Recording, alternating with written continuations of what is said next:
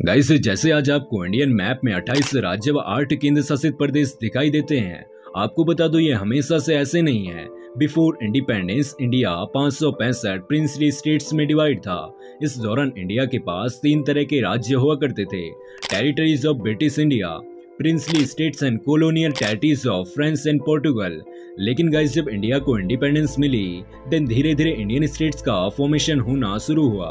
But guys states formation का आधार language था, लेकिन पंडित जवाहरलाल नेहरू ने इस डिमांड को अपोज किया। लिंग्विस्टिक बेसिस में स्टेट्स फॉर्मेशन की बढ़ती डिमांड को देख 1953 में स्टेट रिकॉग्नाइजेशन कमीशन बनाई गई। इसके बाद 1956 में देश में कई सारे नए राज्य भी बने। इस दौरान इंडिया में 14 राज्य व छह केंद्र शासित प्रदेश बन चुके थे। लैंग्वेजेस के आधार पर आंध्र प्रदेश इंडिया का सबसे पहला राज्य बना। इसके बाद महाराष्ट्र, गुजरात, हरियाणा व पंजाब व कई सारे भाषाई आधार पर नए राज्य बनाए गए। फ़िलहाल अब हिस्ट्री की बात नहीं करेंगे। आज हम सिर्फ़ इतना देखेंगे इंडिया के सभी स्टेट्स की capital official language number of districts and day को। तो गाइज़ आप कमेंट सेक्शन में बताना कि इंडिया के किस स्टेट से ताल्लुक रखते हो और किस स्टेट से हमारा यह वीडियो देख रहे हो। तो चलिए गाइज़ शुरू करते हैं अपना वीडियो बिना किसी देरी के।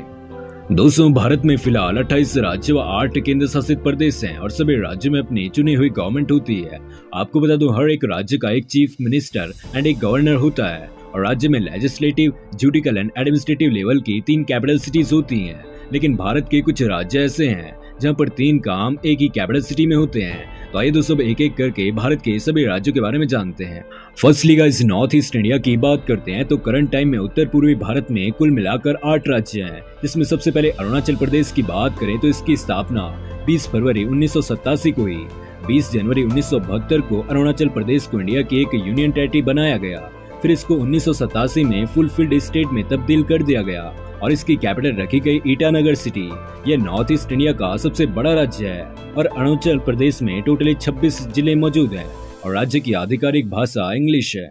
नंबर टू आसाम 226 जनवरी 1950 को इंडियन स्टेट असम का फॉर्मेशन हुआ। असम की कैपिटल दिसपुर सिटी है, जबकि यहाँ पर कुल मिलाकर 31 ज़िले हैं और लार्ज स्केल पर बोली जाने वाली भाषा असमी एंड बोरो है। नंबर थ्री मणिपुर की ओर चले तो 1956 को मणिपुर को इंडिया के एक यूनियन टेरिटरी बनाया गया। देन 1972 में मणिपुर को इंडिया का एक कंप्लीट स्टेट बना दिया गया। इम्फाल मणिपुर की कैपिटल एंड लार्जेस्ट सिटी है और यहाँ पर कुल मिलाकर 16 ज़िले हैं और ऑफिशियल लैंग्वेज मेती है एज वेल एज नागालैंड, जो कि इंडिया का एक लैंडलॉक्ड स्टेट है। इसको फ़र्स्ट ऑफ़ दिसंबर 1963 को असम से हटाकर एक नया राज्य बनाया गया। राज्य की राजधानी रखी गई कोहिमा और सबसे बड़ा शहर दीमापुर है। यहाँ पर देखने को मिलेंगे आपको sixteen district and most common language, English and Nagamese है। इसके बाद गई सिक्किम की बात करें तो मे ऑफ़ सिक्सटीन नाइनटीन को Himalayan kingdom of Sikkim India के ट्वेंटी सेकेंड स्टेट के तौर पर इंडिया में मर्ज किया गया, जहाँ की कैपिटल सिटी गैंगटोक को बनाया गया। सिक्किम में totally six district and Sikkim में कई सारी लैंग्वेजेस बोली जाती हैं। But official Nepali Sikkimese Lepcha and English है। इसके बाद प्रेसिडेंट इंडिया का थर्ड स्मॉलेस्ट स्टेट यानी त्रिपुरा को 1 नवंबर 1956 में इंडिया के एक यूनियन टेरिटरी के तौर पर शामिल किया गया। लेकिन 21 जनवरी 1972 में त्रिपुरा को एट डिस्ट्रिक्ट वाला एक स्टेट बना दिया गया, जहाँ की कैपिटल एंड लार्जेस्ट सिटी रखी गई अगरतला। यहाँ पर most common language Bengali English and Kokborok है।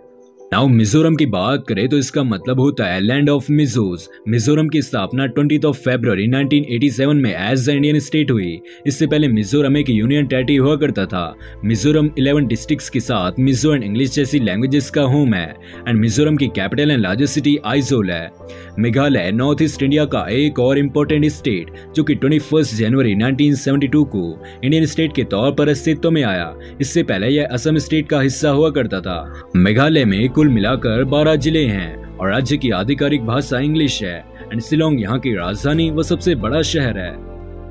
तो गाइस ये थी नॉर्थ ईस्ट इंडियन स्टेट्स की कंप्लीट कहानी। अब रेस्ट ऑफ़ इंडियन स्टेट्स को कवर करते हैं तो पंजाब की बात करें तो यह नॉर्थ इंडिया में लोकेटेड स्टेट है, जो कि ईस्ट पंजाब का पार्ट है।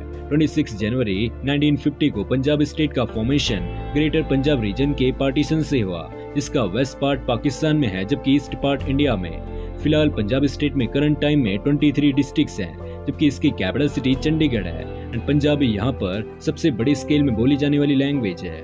दोस्तों, हरियाणा, जिसका फॉर्मेशन फ़र्स्ट ऑफ़ नवंबर 1966 को पंजाब से अलग होकर हुआ, यह आज इंडिया के अच्छे खासे राज्यों में से एक है। हरियाणा की कैपिटल सिटी भी चंडीगढ़ है और यहाँ पर कुल मिलाकर 22 ज़िले हैं। हरियाणवी हिंदी यहाँ की मोस्ट स्पोकन लैंग्वेज है। हिमाचल प्रदेश, जो कि भारत का एक पहाड़ी राज्य है, इसका फॉर्मेशन एज ए स्टेट 25 जनवरी 1971 को हुआ। इससे पहले पंजाब स्टेट्स एजेंसी का पार्ट हुआ करता था। हिमाचल प्रदेश की winter capital Dharamshala and summer capital Shimla है। हिमाचल को टोटली 12 डिस्ट्रिक्ट्स में बांटा गया है। और यहाँ की ऑफिशियल लैंग्वेज हिंदी है। एज वेल एज एक और पहाड़ी राज्य, उत्तराखंड, जिसको कि उत्तर प्रदेश से काट कर 9 नवंबर 2000 को एक अलग राज्य बनाया गया। यह भी इंडिया के एक खूबसूरत स्टेट है। दोस्तों उत्तराखंड की विंटर कैपिटल देहरादून, जबकि समर कैपिटल गैरसैन को रखा गया है। और यहाँ पर आपको कुल मिलाकर तेरह ज़िले देखने को मिलेंगे। और यहाँ की ऑफिशियल लैंग्वेज भी हिंदी है। इसके बाद अगर राजस्थान की ओर चले तो राजस्थान का मतलब होता है राजाओं का स्थान। यह राज्य भारत के उत्तर पश्चिमी भूभाग में स्थित है। और भारत के सबसे बड़े राज्य की स्थापना 30 मार्च उन्नीस को की गई।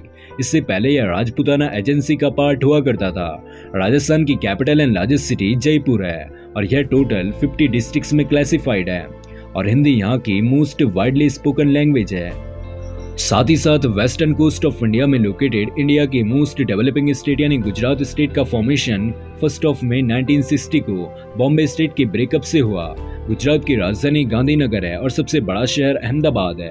यहाँ पर कुल मिलाकर तैतीस ज़िले हैं, जबकि गुजराती यहाँ की ऑफिशियल लैंग्वेज है। दोस्तों, आज की इस वीडियो को यहीं पर वाइंड अप करते हैं। हम रिमेनिंग स्टेट्स को पार्ट टू में कवर करेंगे। तो आज की इस वीडियो में इतना ही। आपको वीडियो कैसा लगा? वीडियो पसंद आए तो लाइक करें, साथ ही चैनल को सब्सक्राइब भी ज़रूर करें।